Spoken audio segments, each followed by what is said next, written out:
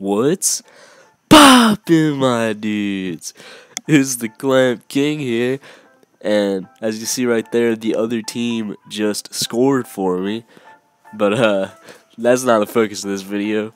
Today, I got you guys the best thing ever. Like this is the best video right now.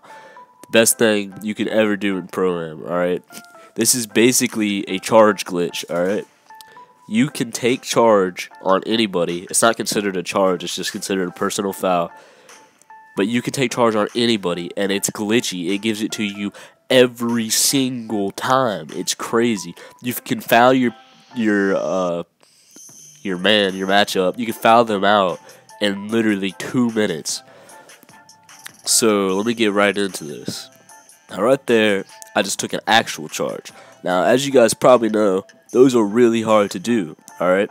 The key is going in the paint when you do it. Everybody runs to the paint. And don't do it to the ball handler. You want to do it to someone else. So if you're a center, it's going to be really easy.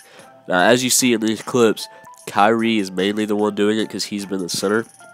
He's just holding B in the paint in transition. They're going to get down court. They're going to run into him and it's immediately it pulls them in. Even AI players get these fouls. Like it's crazy. Even AI players get these. Now we've had multiple people foul out on the other team, invite us to parties, get really mad, cuss us out. You know, they they can't stand it. We, we foul out the other people. You basically will never lose a pro am game because you can get so many turnovers where you just get possession just because of this. And then on top of that, you can foul out their best player, and then it's just AIs, and then you can just beat AIs. It's the best glitch ever. It's really easy. Just go in the paint, hold B in transition, they'll run into you.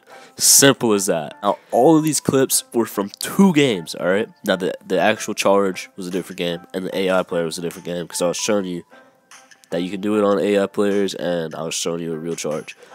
But these other clips are two games on the same man. This one man got fouled out completely off of only charging fouls.